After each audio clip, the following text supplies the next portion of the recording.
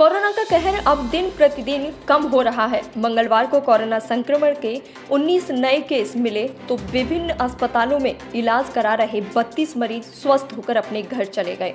Corona संक्रमण मामलों की कमी मंगलवार को भारी रही। 19 नए संक्रमण के केस मिले। इस तरह सक्रिय मरीजों की संख्या 280 हो गई है।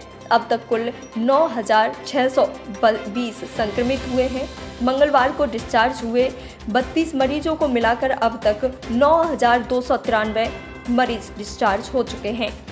कुल दो दशमलव सात चार लाख लोगों की जाँच हुई है। डीएम चंद्रभूषण सिंह ने लोगों से सोशल डिस्टेंसिंग के नियमों का पालन करने की अपील की है।